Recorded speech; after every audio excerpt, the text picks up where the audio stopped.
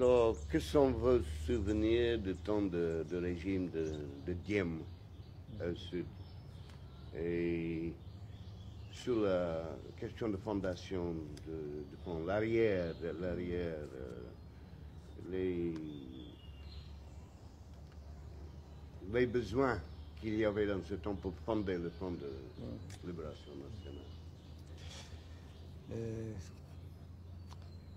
Mỹ và bè lũ tay sai của Nguyễn Diệm âm mưu và biến miền Nam đất nước chúng tôi thành à, ờ, thổ địa cứu mới và căn cứ quân sự của Mỹ phá hoại việc thi hành Hiệp định Geneva 1954. Chúng à, ra sức xây dựng ở miền Nam một chế độ độc tài phát xít vô cùng tàn bạo trong thời gian mà Diệm à, nắm quyền thì nó đã gây ra những vụ tàn sát giả man ở Ngân Sơn, ở Chí Thạnh, ở Châu Được, ở Mỏ Cài ở Củ Chi, ở Bình Thạnh, vân vân. Diệm mà liên tiếp mở những đợt tố cộng, diệt cộng thẳng tay đàn áp các cuộc đấu tranh yêu nước của đồng bào chúng tôi ở miền Nam với một đầu óc cuồng chiến và phục tù giai cấp rất là ác liệt. Tôi xin nêu ờ, vài ví dụ, ờ, vài con số ngày ờ, mùng 1 tháng Chạp năm 1958 chúng đã gây ra vụ ờ, đầu độc giết chết hàng nghìn chiến sĩ cách mạng và những người yêu nước ở trại tập trung Phú Lợi. Tháng 5 năm 1959 bọn chúng ra cái đạo luật ờ, gọi là đạo luật 10 năm 9 mà nhằm cái mục đích là công khai, chặt đầu những người yêu nước và tàn sát nhân dân của miền Nam với những hình thức mang rợ thời Trung Cổ. Như vậy là từ năm 1954 đến 1959 thì ở miền Nam đó, đã có hơn 460.000 người cộng sản hay người yêu nước bị bắt. Khoảng 400.000 người ờ, bị tu đài. 68.000 người bị giết. Thế thì như vậy là cách mạng miền Nam Việt Nam đó, lúc bây giờ đó, đứng trước những thử thách cực kỳ nghiêm trọng nhưng ờ, với cái sự lãnh đạo sáng suốt của đảng và của mặt trận thì nhân dân miền Nam đã vượt qua được ờ, những khó khăn đó. Cơ sở cách mạng vẫn giữ vững và phát triển. Đi đôi với những cuộc đấu tranh quân sự, phá ấp chiến lược thì có những cuộc đấu tranh chính trị rộng lớn, mãnh liệt, thu hút mọi tầng lớp nhân dân những đội quân ờ, chính trị hùng hậu của quần chúng đó đã làm thất bại ờ, nhiều cái cuộc hành quân càn quét của địch và đã bảo vệ được có kết quả, tính mạng và tài sản của nhân dân.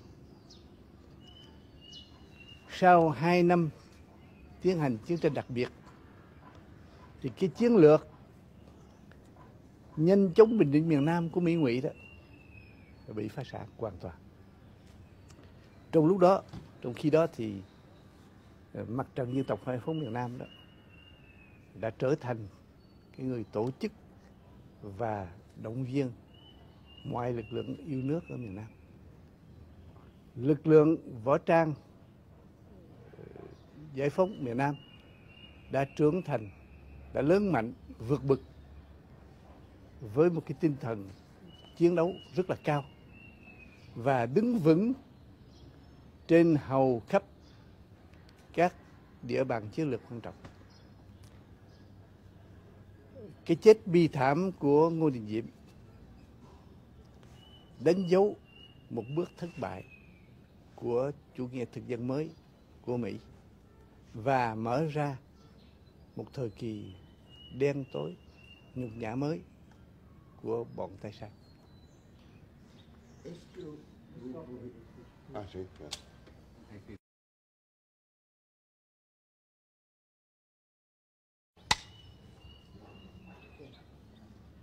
À quel moment est-ce qu'on avait pris la décision de fonder le, le Front National de, de Libération Eh, Et comment c'était possible C'est-à-dire eh, les conditions qui ont rendu possible la, la fondation de Front à ce moment eh, Ờ, phải nói rằng à, mặc dầu ờ, bị kèm kẹp gắt gao nhưng nhân dân miền Nam Việt Nam không bao giờ chịu chấp nhận sự xâm lược của Mỹ và sự áp bức của Ngô Đình Diệm. Để tự bảo vệ mình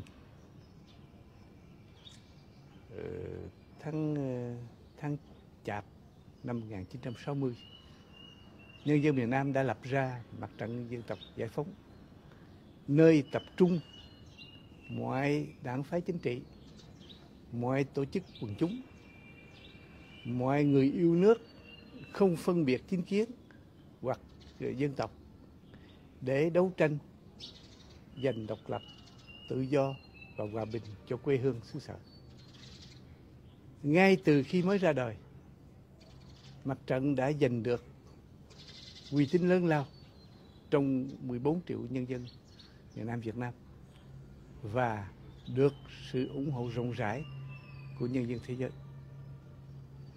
Sự ra đời của mặt trận và uy tín của nó đó đã thật sự làm cho bọn xâm lược Mỹ lo sợ và đã làm lung lay đến tận gốc cái chế độ và thối ruộng mà chúng đã dựng lên ở miền Nam. Với quyết tâm giải phóng miền Nam Việt Nam, của quần chúng miền Nam, thì và được cái sự chi viện hết lòng của hậu phương miền Bắc, thì các căn căn cứ địa, cách mạng ngày càng được củng cố và vùng giải phóng ngày càng được mở rộng. Trong điều kiện đó, dưới sự lãnh đạo sáng suốt và tài tình của đảng ngày mùng 6 tháng 2 1962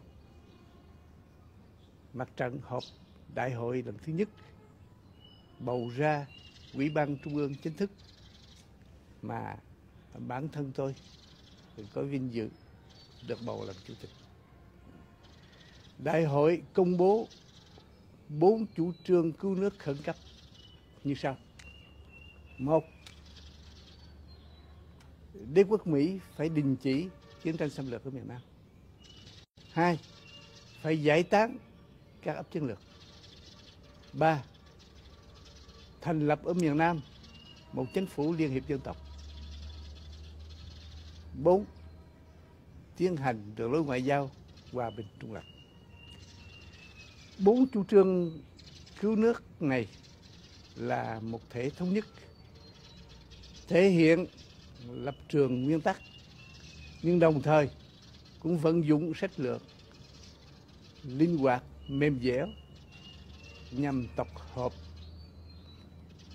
mọi lực lượng, mọi người yêu nước chống bị diệt cô lập cao độ kẻ thù, tức là Ờ, bọn xâm lược Mỹ và tay sai thực hiện phương châm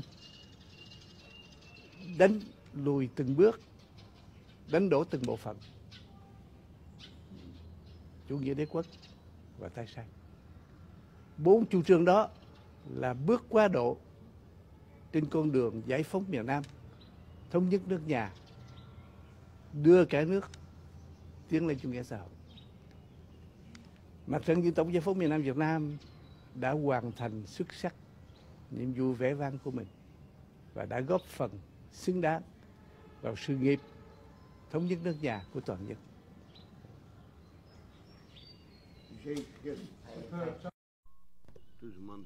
Row 57 of Vietnam Project, 23rd of the 2nd, 81. Turn of mind saying. So, 428, take one. Est-ce que vous pouvez dire quelque chose encore sur les années, ce qu'on appelle les années noires, avant que la lutte armée a, a commencé? Aussi les circonstances de votre propre arrestation. Để trả lời câu hỏi của bạn thì chúng tôi phải nhấn mạnh hai cái đặc điểm này của dân tộc chúng tôi. Một đó là chúng tôi có truyền thống luôn luôn tôn trọng chữ ký của chúng tôi. Một khi chúng tôi ký một cái hiệp hiệp ước thì chúng tôi là làm hết sức để mà thi hành hiệp một cách nghiêm chỉnh. Hai nữa là cái truyền thống hết sức yêu chuộng hòa bình của nhân dân chúng tôi. Cho nên khi mà hiệp định Geneva đã được ký kết thì toàn dân chúng tôi đó mong muốn một điều là cái hiệp định đó sẽ được nghiêm chích, nghiêm chỉnh tiến hành và cái việc thống nhất nước nhà được thực hiện bằng phương pháp hòa bình. Cho nên ngay cả ở Sài Gòn, chúng tôi một số người yêu nước mà trong đó có nhiều người trí thức đã ngay sau khi mà hiệp định Geneva được ký kết thì chúng tôi đã lập một cái tổ chức gọi là phong trào bảo vệ hòa bình Sài Gòn chợ lớn. Bắt đầu bằng Sài Gòn chợ lớn sau này thì nó phát triển ở, ở tỉnh. Thì cái mục đích yêu cầu của phong trào đó là đấu tranh đòi cho hiệp định Geneva phải được thi hành. Tức là năm 56 phải có một cái hội nghị để mà giải quyết cái vấn đề thống nhất. Và hai nữa thì trong lúc chờ đợi thì phải ban hành, phải thực hiện những quyền độc dân chủ, tự do dân chủ. Và một cái vấn đề thuộc về cái cái vấn đề tự do dân chủ là nghiêm chỉnh, là trả lại tự do cho những người mà bị bắt trong chiến tranh. Thế thì mục đích chúng tôi như vậy đó, và với cái cái truyền thống và tinh thần yêu chuộng hòa bình của nhân dân, thì cái phong trào đó lập ra thì đã tập hợp rất là nhiều lực lượng chẳng những trí thức mà mà tư sản mà mà đủ hết. Bởi vì sau bao nhiêu năm chiến tranh thì nhân dân thì rất là khao khát cái hòa bình cho nên quần chúng rất là tán thành hưởng ứng cái chủ trương của phong trào bảo vệ hòa bình. Vì chính vì thế mà cái chính quyền ngô đình diệm thì nó lại không muốn thi hành hiệp định Geneva mà cái yêu cầu của nó là đàn áp các lực lượng chống đối ở miền Nam và lấy làm bàn đạp bằng tấn công miền Bắc. Cho nên một cái tổ chức như vậy và với những cái mục tiêu như vậy thì tất nhiên là nó nó nó không phải làm thế thì chúng tôi hoạt động khoảng chừng 2 tháng. Mà trong lúc đó thì các tỉnh đến để mà xin lập những cái chi nhánh của của trung ương ở các tỉnh. Thì trước cái cái một, có một cái phong trào đấu tranh mạnh mẽ đòi thi hành hiệp định Geneva. Thì trước cái tình hình đó đó thì ngày 15 tháng 11 Ngô Đình Diệm cho bắt chúng tôi. Và một số người trong cái trong cái tổ chức phong trào bảo vệ hòa bình mà chúng tôi cũng xin nói một lần nữa là trong cái thành phần của cái ban ờ, chấp hành của cái phong trào hòa bình thì có trí thức, có công nhân, có tư sản, có có có đủ thực lực. Thế thì chúng tôi bị bắt ờ, một cách rất là đơn giản là Ờ, ngày 15 tháng 11 ờ, người ta mời chúng tôi lại là ờ, sở công an. Là nói là để hỏi, đặt cho chúng tôi vài câu hỏi. Nhưng mà đến đó rồi thì chúng tôi có ba người, chúng tôi phạm quy thông và trần kim quang. Thì chúng tôi đứng nó đợi một lúc. Và trong lúc mà chúng tôi đợi thì chúng tôi thấy nó có đem lại mấy cái ghế bố ba cái ghế bố. Thì chúng tôi đợi một thời gian rồi thì chúng tôi có hỏi là cái ghế bố đó để làm gì thì họ nói mấy ông sẽ thấy. Thế thì sau khi cái tay mà giám đốc công an đã đi xin ý kiến của ngô đình diệm nó trở về thì nó nói giờ các ông bị bắt. Thế thì nó đưa chúng tôi đến một cái nhà lao gia đình. Rồi ba cái ghế bố đó là, là chính là dân cho chúng tôi. Đó. Đó thì là, thì như vậy là ừ, bạn thấy rằng ờ, trong lúc mà về phần chúng tôi chúng tôi muốn ờ, thi hành nghiêm chỉnh hiệp định Paris ờ, hiệp định Geneva, thì bọn cô địa diễm rõ ràng là muốn phản bội cái hiệp định đó và muốn là ừ, thanh toán tất cả các lực lượng yêu nước để mà It's squeaking. Couldn't work out what it was. If it squeaks again, stop it. Turn over. Oui, oui, c'est ça.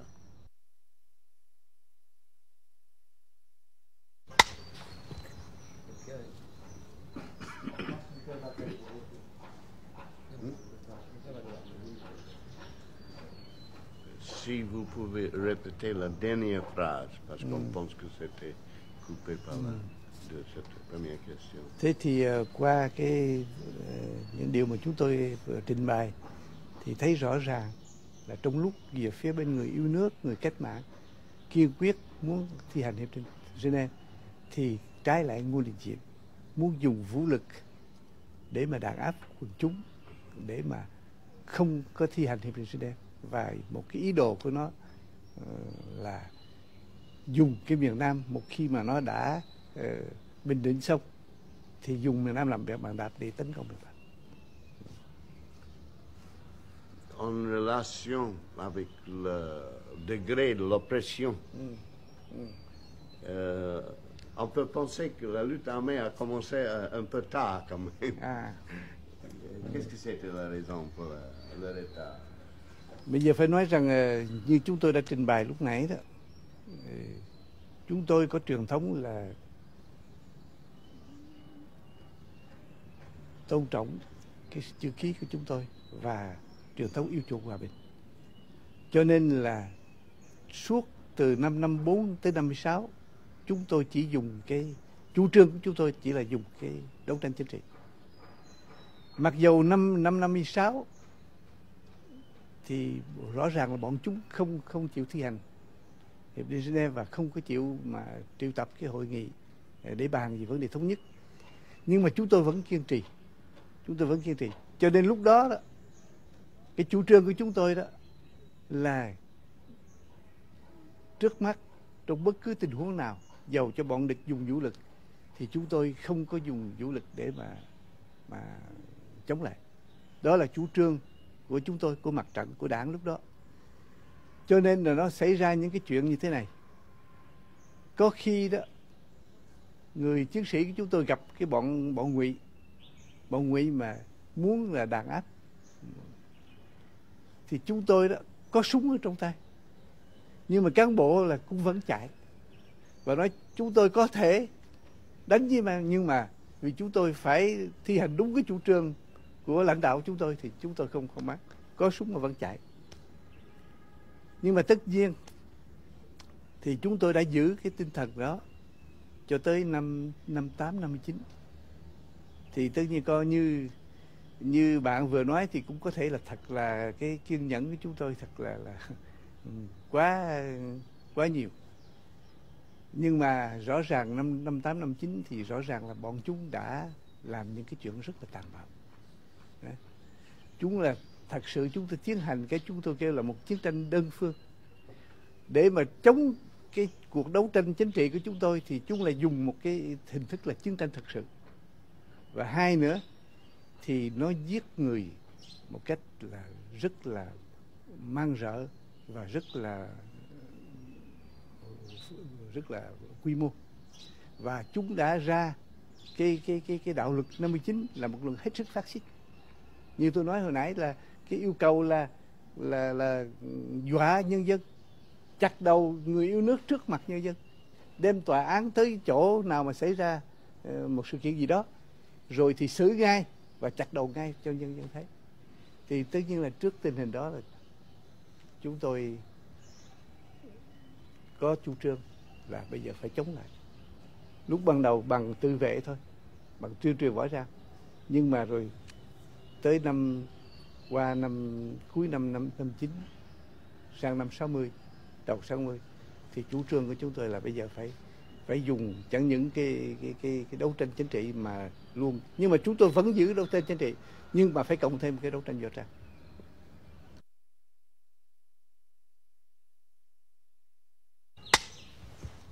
Est-ce que vous pouvez dire quelque chose sur l'importance des deux batailles, la bataille d'Apak et la bataille de, de Binjar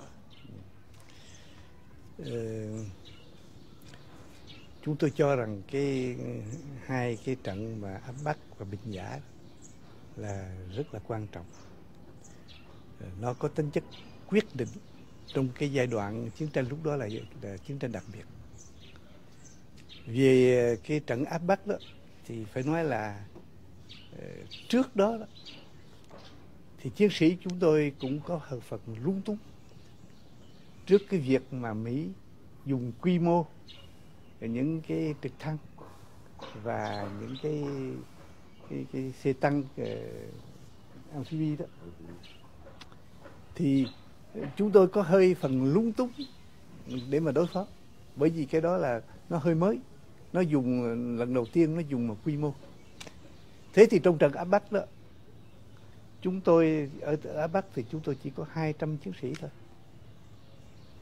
Mà chúng tôi bị bao vây bởi mấy trăm quân địch ở mặt đất và trên không. Thế mà do cái dũng cảm và cái thông minh, cái trình độ đấu tranh rất là cao của các chiến sĩ đó, thì chúng tôi đã giành một cái thắng lợi rất to lớn. Tức là chúng tôi đã giải quyết cái vấn đề đối phó với xe tăng, với lại trực thăng trong cái trận đó, thì mặc dầu bị bao vây bằng những cái lực lượng ờ, rất là đông đảo hơn chúng tôi, nhưng mà chúng tôi đã diệt một số địch cao hơn là cái số cái người chiến sĩ mà phải đối phó. Và hai nữa là chúng tôi đã diệt, bây giờ tôi không nhớ con số, nhưng mà chúng tôi đã diệt nhiều, đã thủ tiêu ờ, nhiều cái xe tăng, nhiều cái cái cái trực thăng thì sau đó đó thì là cái cái vũ khí này của của của Mỹ là hoàn toàn mất tín dụng tức tác dụng của chúng tôi. Chúng tôi biết cách nào để mà đối phó. Cho đó một cái tuần năng rất, một cái một cái bước ngoặt rất quan trọng. Còn về bình giá đó, là một cái trận mà trong đó Mỹ đã huy động một cái lực lượng rất to lớn. Và âm mưu là đã tiêu diệt một cái đơn vị quan trọng của chúng tôi. Lần đầu tiên là hai cái lực lượng lớn là gặp gặp nhau. Mà cái này cũng trong cái khuôn khổ của chiến tranh đặc biệt. Và việc này nó xảy ra là cuối năm 64 thì mặc dầu cái lực lượng của chúng tôi là ít thấp hơn vì vì vì số số và vì mỗi vì vì phương tiện, thì chúng tôi đã giành một cái thắng lợi rất là to lớn. Nghĩa là tiêu diệt rất nhiều sinh lực địch và phá hủy nhiều cái phương tiện chiến tranh của nó. Mà chúng tôi đã giành một cái thắng lợi cho thấy rằng cái lực lượng của ngụy đó không đủ sức mà đối phó với chúng tôi. Thì cái binh giả đó rồi sau đó còn một cái một cái trận nữa là trận Ba Gia. Ba Gia ở miền Trung. Thì cho thấy rằng nghĩa là chiến tranh đặc biệt là, là bị phá sản. À, chúng tôi đã giành thắng lợi. Thì cái đó là rất là quan trọng tất nhiên là sau đó thì Mỹ nó mới là chuyển là thành chiến tranh cục bộ nhưng mà ờ, trong một cái giai đoạn ừ, rất quan trọng ờ, của cuộc kháng chiến, tức là giai đoạn của chiến tranh đặc biệt, thì chúng tôi đã giành giành thắng lợi. Và chứng minh cho chiến sĩ chúng tôi là bọn ngụy giàu cho được Mỹ hỗ trợ rất nhiều, nhưng mà không đủ sức để đối phó với lực lượng cách mạng.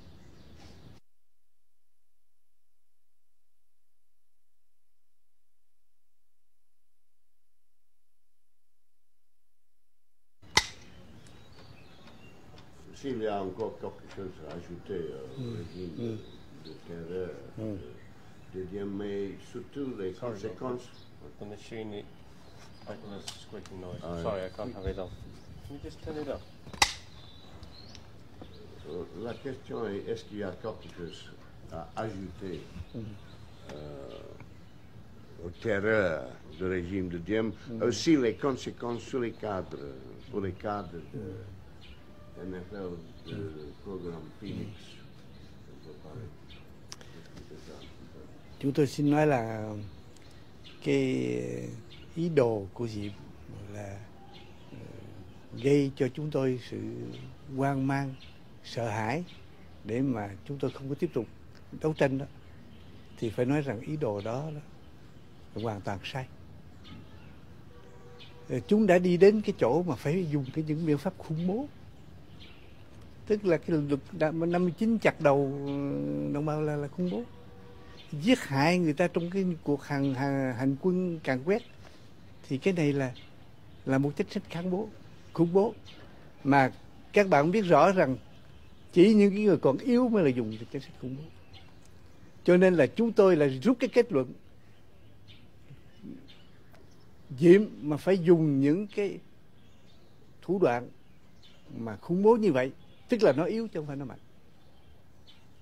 Từ đó, chúng tôi thấy rằng chúng tôi có thể đánh.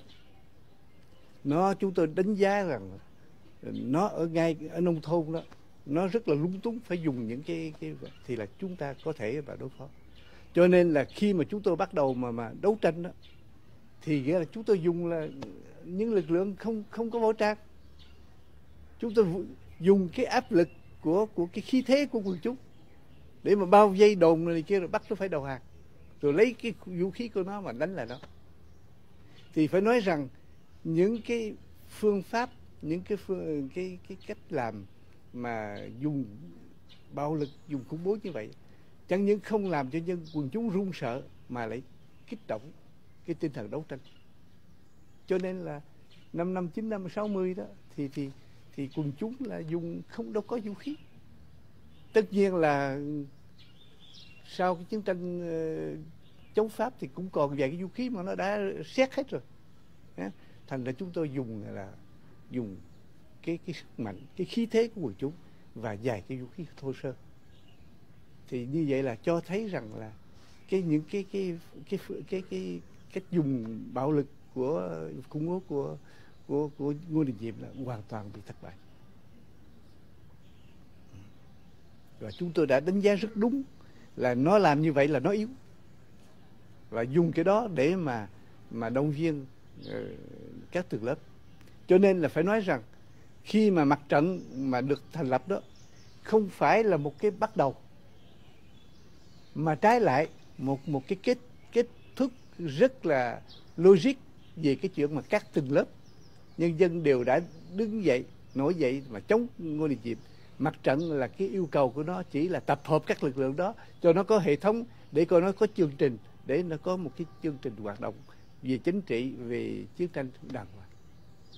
Do đó mà mặt trận ra đời. Ra đời là là để mà tổ chức cái cuộc đấu tranh một cách là là hợp lý. Mà là và như vậy là không phải là cái mặt trận mà thúc đẩy cái cuộc đấu tranh mà chính là cuộc đấu tranh để dẫn đến cái, cái chuyện thành lập mặt trận như vậy là cho thấy rằng ừ, quân chúng đã đối phó một cách dũng cảm đúng đắn đã nhận định đúng cái cái cái chỗ yếu của của của, của bọn Ngô Đình Diệm và đã đã giành được thắng lợi.